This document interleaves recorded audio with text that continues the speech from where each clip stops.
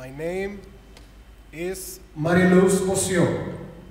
My four brothers and I live in our, with our abuela, or grandma, in a Chinese town.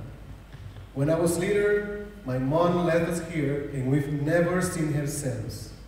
Even though I have a name, I've never heard it. In fact, I've never heard anything.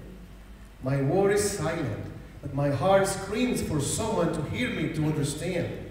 I'm angry a lot because I can't tell anyone what my heart is saying. So I scream and I pound the table. I throw things and kick. Everything in the hearing world is, is like a secret I'm not allowed to hear. I'm an outsider alone in my world. They may call me Wild Mary.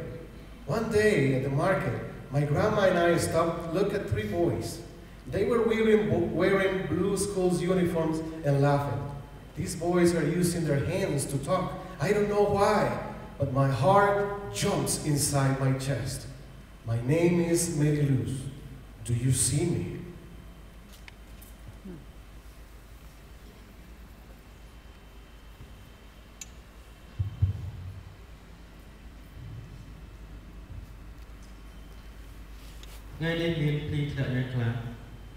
Today it is raining hard យើងទាំងពីរអ្នកបានធ្វើដំណើរយ៉ាងលឿនបំផុត and we're moving as fast as arms and legs can.